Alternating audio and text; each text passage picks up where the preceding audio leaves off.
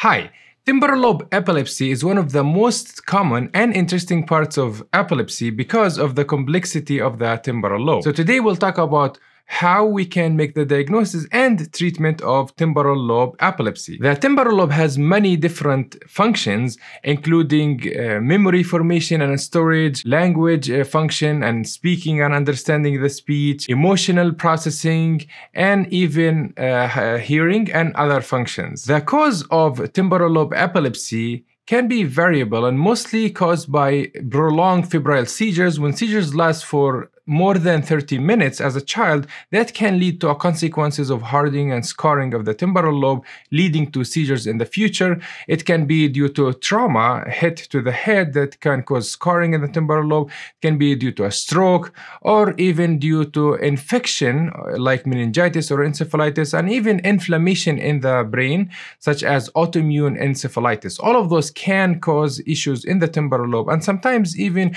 we have problems with the formation of the cells in the womb, and that can cause uh, seizures such as cortical dysplasia with abnormal formation of the cells early on in life. How does temporal lobe epilepsy present? There are multiple types of seizures that can present in temporal lobe epilepsy, which are focal with impaired or not impaired awareness. So first of all, usually it starts with aura. Aura, which is an abnormal sensation or the warning before the seizure happens. It can be the sensation of fear, it can be anxiety or feeling of uprising sensation. Somebody said like it's like a roller coaster feeling or the butterflies coming off the stomach, coming up uh, in your chest. All of those can be the aura at the beginning of the seizure. And it can be some experiential uh, symptoms such as feeling things be familiar before, such as deja vu, or feel, feeling everything not familiar at all, and which is called jamais vu like excuse my french is not excellent. Uh, also it can be uh, fear or crying and emotional experiences. Some people will feel uh, sudden laughter or sudden crying. All of those can be the beginning of the seizure in the temporal lobe and because it also affects the uh, speech area it can be starting nonsensical speech without making sense or speaking gibberish. And it controls the autonomic function. And some people will have goosebumps as part of the beginning of the seizure. Other interesting symptoms will be stirring and then what we call automatism, which is repetitive movements, and it can happen in the mouth like this people will have some repetitive chewing movements in their mouth or automatism in the body with uh, mostly in the hands will be fumbling and moving in the hand. And interestingly the hand that you move uh, mostly with at the beginning is where the seizure happens in that right side or left side. So it will be the same seizure side where the hand is uh, moving and, and going around. And the seizures usually start in the temporal lobe and then rapidly move around to the other temporal lobe or to the whole brain. And then then it will be uh, going into generalized shaking all over, which is called focal to bilateral uh, tonic-clonic seizures, or previously was called complex partial seizures or grand mal seizures. And it is important to note that the temporal lobe has lots to do with the heart control, and uh, frequently the heart will be racing fast, which is tachycardia during the seizure, even early on. And we use this in the treatment. And sometimes, unfortunately, the heart can be much slower word called bradycardia and even cause asystole and complete stopping in the heart, which can be a very dangerous complication during the seizure, which we have seen in our practice multiple times. People who have complete stopping in their heart during the seizure, and we had to even implant a pacemaker to keep the heart beating when it completely stops. All right, how we can make the diagnosis of temporal lobe epilepsy? Well, the, the, first step in diagnosis is taking a detailed history of all the symptoms that the patient will have during the event. So mostly uh, what happens during the seizure, how does it start and how does it go? And it would be excellent if you can take a video of yourself or your loved one so that you can present to your doctor. The second step will be taking pictures of the head, including a brain MRI.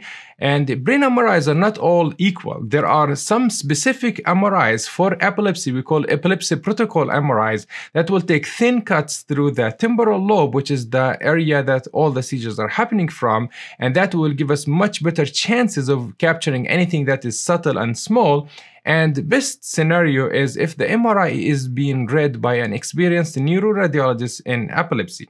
And the last test is doing an EEG, which is a brainwave test that we're putting the wires on the head to record the brain electrical activity. And we can often see the abnormal buzz of electricity that can happen in the temporal lobe, and we can see it and differentiate if it's right or left and how frequent these discharges are. And it is important to note that temporal lobe epilepsy, because it can affect the emotion and the memory, it is often associated with memory loss and in some patients with psychiatric disorders such as depression, anxiety, PTSD, and even psychosis in some patients.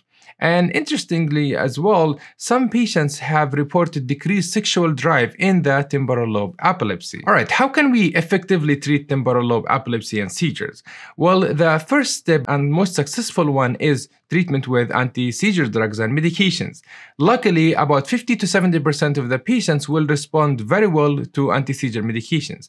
How can we choose the anti-seizure medications is a skill, and not every medication works for every patient, so always we have to consider the background of the patient before deciding on the medication. For example, the most commonly used medication for seizures is called levetiracetam or Keppra.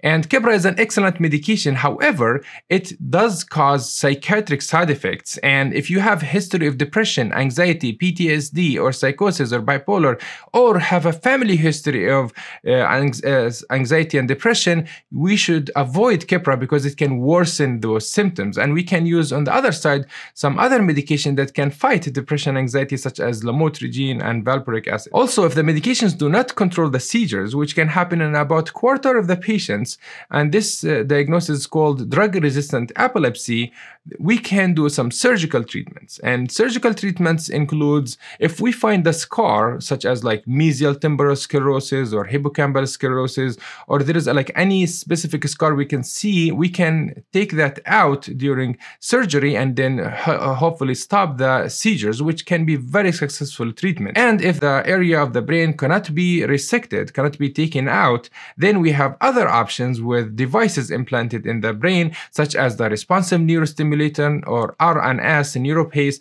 and this device can tell us how many seizures are happening and if there are two temporal lobe seizures like right and left we can put uh, wires in both temporal lobes and that will track over time which temporal lobe is responsible for the majority of seizures and maybe even take it out in the future. Also, we can do other devices such as the deep brain stimulation and vagus nerve stimulation, which I detailed in another video about drug-resistant epilepsy that you can review. And recently, there is a new uh, technology that we can use to treat temporal lobe epilepsy, especially the mesial temporal sclerosis, which is using laser, and it's called laser ablation, laser interstitial thermal uh, coagulation therapies, which is the treatment with laser to not take the whole brain area and just laser it. And we are currently studying this in clinical trials, and I am part of the clinical trial studying that. So once this research is for prime time, we'll share it with the world, then hopefully it will be the standard of care for epilepsy in the future. And it is important to understand the second most common